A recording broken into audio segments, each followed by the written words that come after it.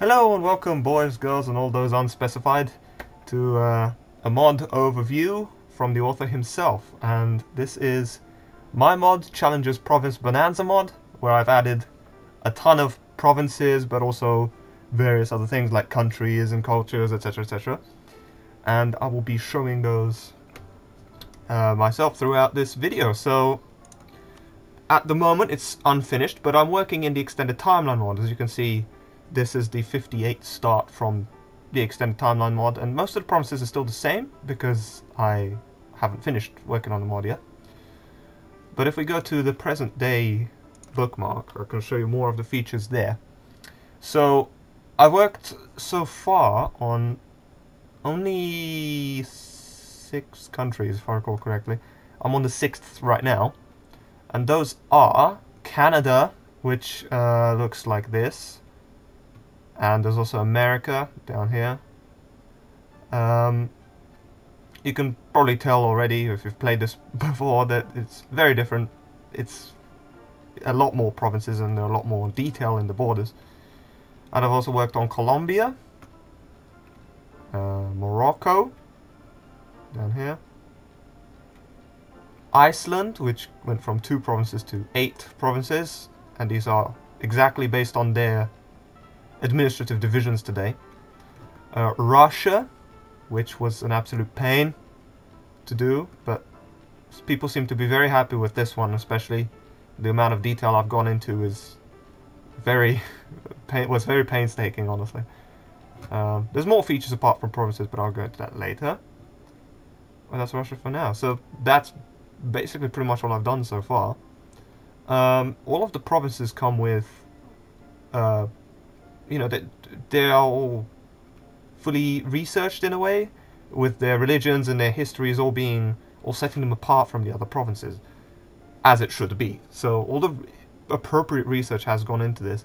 I've also done uh, religious research on, on these areas, so some stuff hasn't changed, like this was always Buddhist from the start, but today, this is the Kalmykia, and um, there's the highest, the the place with the highest proportion of Buddhists in Europe um, present day, so that's nicely represented. And there's of course the uh, Tatar and the Bashkir Muslims here in this area of Russia, nicely represented. The black dash is because Russia is sec secular today and it kind of hurts my eyes. I'm going to zoom out a bit. You've got some shamanist areas here from uh, native Tungusic people. I, I hope that's what they're called. And some more Buddhists in the Tuva Republic in Buryatia there, I hope that's how you say it. Um, over here, I've gone into massive extensive research into Catholic and Protestant distributions in Canada and the USA, and you'll notice a new religion here and here, and this is to do with my recent integration with Benji's religions mod, which adds a ton of them. But he's mainly worked on not so much modern day religions, but mainly um, native religions. You can see more of this in Africa. You've got Yoruba, Imohag, and uh, if I go back, actually, show the 1444 start. Um, you can probably see it without the black dash lines as well. So here you have Imohag, everything, Bieri, Odinat, all these things that were not there before, but th this has gone into a great amount of detail with the religions, and I've also I also quite like what he did with the um, symbols. He has these ni this nice pattern going on right now, which I, am really quite fond of. Uh, he changed the the look of the Catholic symbol as well, and the Orthodox ones, and the Muslim one. It it looks very colourful and friendly. I, I, really quite like what he's done there. Um, a lot more of you may be familiar with the 1444 start, so I'm going to show you what the world looks like in the places where I've worked. So this is Russia. You can still see Muscovy and Novgorod battling it out, basically, but the borders are much more defined. You know, both Novgorod and Muscovy have a lot more territories. Countries that previously one province minors are now, uh, like Yaroslavl is now two. And you've also got some new countries that were not represented before, such as Pronsk, which is uh, right now, I think it if you go in the past, it was a vassal state of uh, Ryazan, but now it's, at this point in time, independent. Um, so yeah, that's basically it. Because I have the natives, and then um, I know that some areas are right now obviously slightly more um, imbalanced, such as countries in Russia may have a little bit more power over these places in Europe because they basically have more provinces. But over times will balance out, and I play with my mod, but it's still enjoyable for me. I don't have any specific problems with countries in the regions I've worked on being overpowered. I am currently playing a campaign as Quito, where I started in this area, but the Muisca aren't really. They, give they didn't give me any problems, nor did anyone from there, so. Yeah. This is what the world looks like. Um. Quite sure what else to show. So I have these. There's also another mod that I've integrated with, which is, um, well, it's not a mod, but uh, chicken. I think that's what it's called.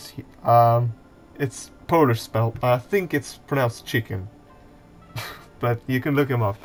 Um, he made a trade goods mod for me, which adds a lot more trade goods. They are not implemented in the map right now because of some problems that I've asked him to fix first, but uh, they are in the ledger, so I will show you when I go in.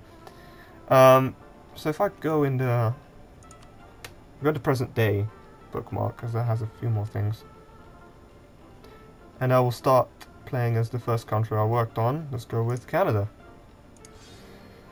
So, apart from apart from the religions and the provinces, I've also added cultures, and uh, basically this is um, this for the British culture. First of all, I'm sure you because uh, the standard game had American as a culture, but why have American and not Canadian and not Australian and stuff like that? So I've taken it upon myself to make Canadian, Brit- British Canadian, and French Canadian, which is spelt with an E, and also uh, represented some areas that are still occupied mainly by Native Americans to this day.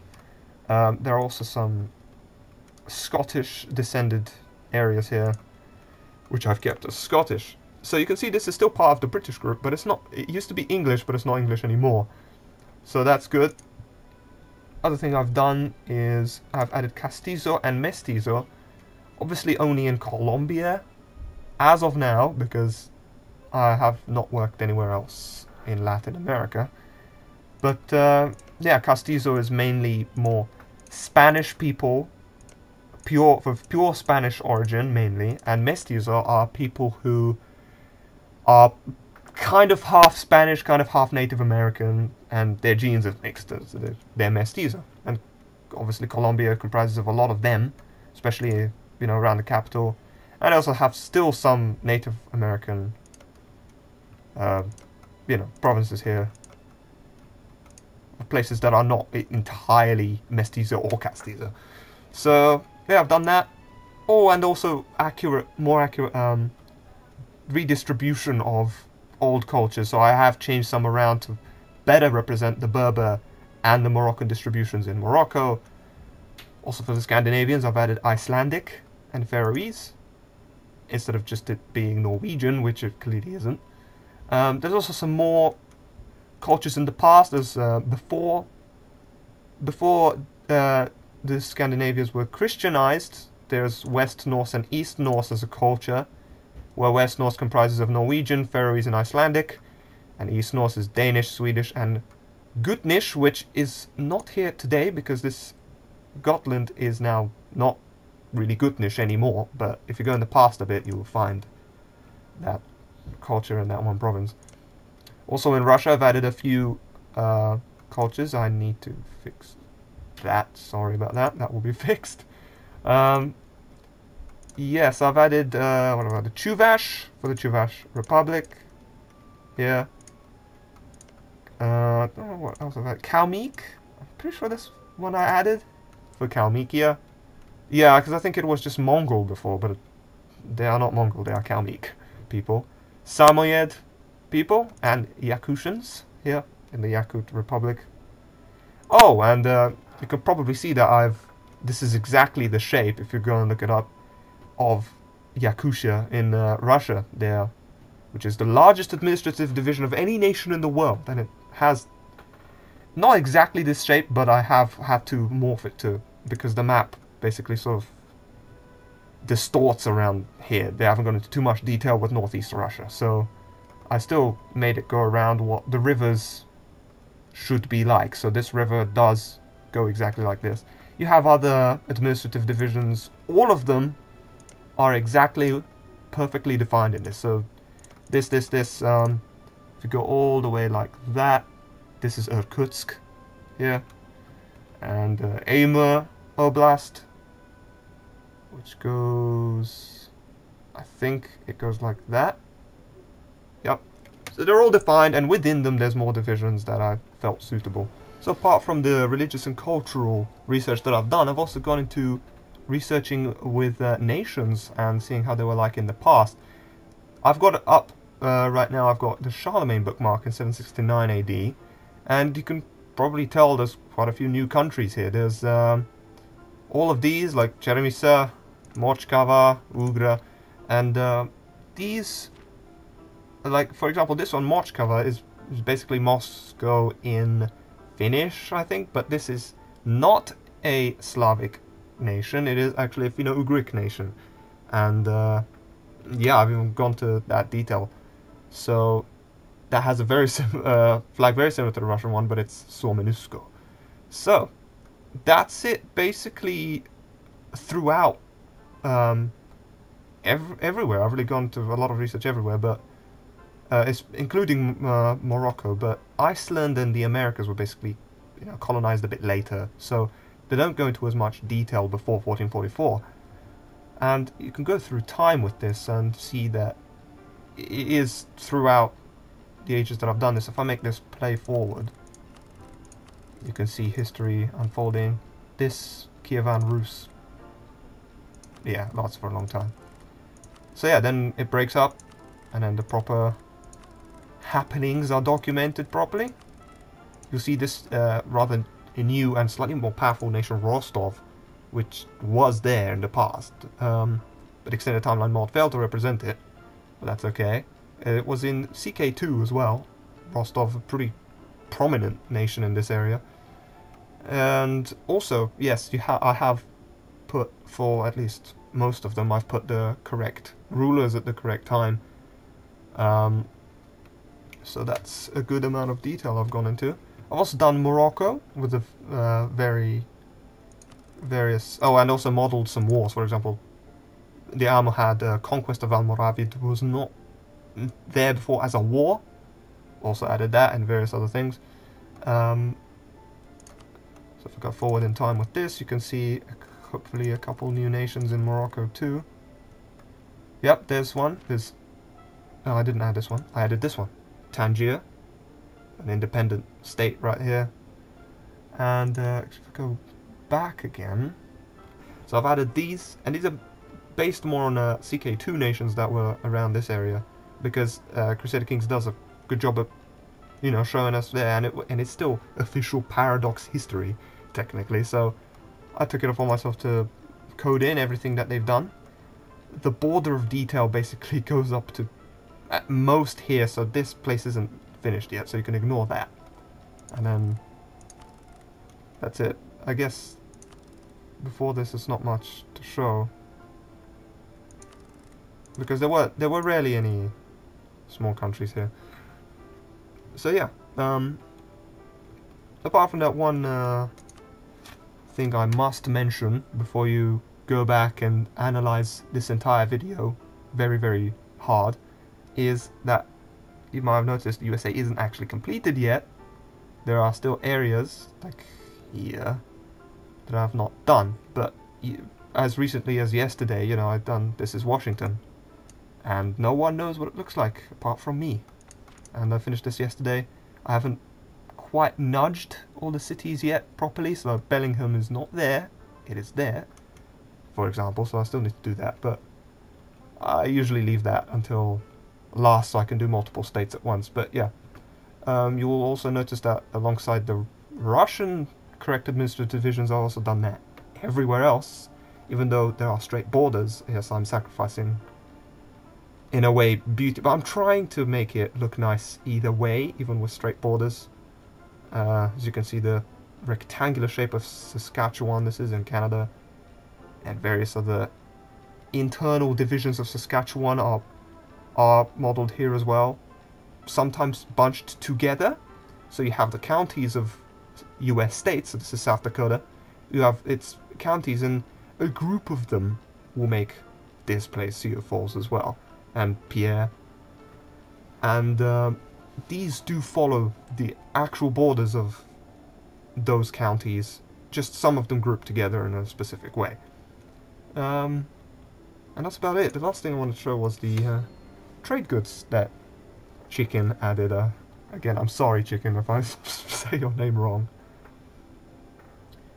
But, uh, as I said, they're not in the game yet because it's a little bit buggy, but when it's fixed, they will be there and they will be in the right places.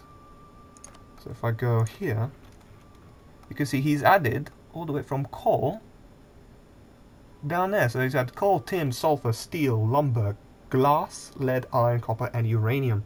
But what I love about this is his description. Coal is fun, tin is light, sulfur is burning, Steel is cold, lumber is brown, glass is transparent, lead is heavy. Uh, he did not add iron um, or copper, but he added uranium, which is not healthy. So, thumbs up to him for uh, doing those very creative descriptions, which are actually very creative. That made me laugh quite a lot when I first read them. So yeah, the last thing I wanted to show you with my mod is something that I work equally hard on as I do on uh, the provinces, and I feel like this is a very overlooked thing that people don't really care much about. So if I go into command, no, that's the wrong one. Yep, so you can see more clearly. Basically, in this area that I'm going around, so from there, like that, okay, this western bit of Canada, I have my colonial dynamic province names, which basically for every nation, I have gone and taken the naming method of these and translated it. So let's say Vancouver here. I haven't just gone on Wikipedia and looked it up on different languages how they write Vancouver because A, most of the time it's the same, and B, Vancouver was named after a, a British naval leader whose surname was Vancouver and he explored this area and um, so it wouldn't really make sense in an alternate history, say if the Germans colonized this, that they would name it after a British naval officer. Why would they? They would call it after a German naval officer who very likely explored this area. So, I've done that, and uh, there's 60 something languages I've done it for, including some Indian ones as well. So, I don't know what I'm gonna showcase, but let's say I'm gonna do integrate Canada. Let's go with Romania. Nope, that's the Roman Empire. Romanian RMN, right? And this is the Romanian um, province names, which I, I know are good because I speak Romanian, so uh, any mistakes here would not come through. So for example, Vancouver is no longer that. It's now Cantacuzino, which is the, the surname of a you know Romanian person. Caragia, you have uh, Caribou, Posada, Suswap, Cap Mare, and you had stuff like Swift Current here, which now Romanian is Curent Rapid. So I've done this for other languages, and where I where I could, I, I, I can put in um, these hats here, you know, like uh, the symbols on letters, but sometimes it doesn't let me. Like, for example, this T should have a comma underneath it, and it's not, otherwise you read it as print, but it's print, and that th is done by the T with the comma, but they don't let me, so I'm sorry for any languages I, I unintentionally offended with that. So I can show you different languages. I can show you I've even gone and done Punjab. So if I go Punjab integrate this, these are very uh, Indian sounding names like Khan Fortha Jasa or Vadedesira, you know. A lot of, you know, and Indian Punjab names, Ranjit, and Vancouver here you have Cambo. It's just um, I like doing it, and it makes uh, when I, when I'm done with this entire region, when I have any nation colonizing, and mostly I have you know Spain and France and stuff. So Punjab is probably extremely pointless, but people have some crazy campaigns, so you never know. Um, yeah, so anyone, even if you start, let's say in uh, the earliest bookmarks you have the Roman Empire colonizing, if you decide to play that far, you would have, um, go back to the Roman Empire, I think this. You have all this stuff named in Latin, so Flumen Pax, you know, Stagnum Servis, this is all Latin names. And I just feel that this uh, makes you a little bit more, you know, a little bit more, I don't know, immense in the game, I guess. I, I, am not quite sure of the word. But yeah, so this is my, uh, my mod, and it's still very much a work in production. I will have the USA finished, and the next nations will be Venezuela, and then Algeria, and then Norway. I hope you can probably see the pattern. I'm not doing all the nations in North America at once because I will get bored. So I go one from here, one from here, one from here, there, all the way. I know I've I've done Russia and then sort of gone back to North America, and I've skipped Oceania because uh, most of them are islands. But I've decided I will go back and do Australia first, and then um, I think some of these islands you see are grouped together, so I could split them up into various ones. Maybe Papua New Guinea had more provinces there. So that's the plan for the mod, and that's the overview. Uh, I hope you had fun, I hope you enjoy my mod, and if you like it, let me know. I appreciate all the comments because I work very hard on this. And if you see any bugs, let me know, I'll fix them, I have them fixed all the time. So yeah, uh, thank you very much for watching, and I hope you enjoy my mod. Thank you.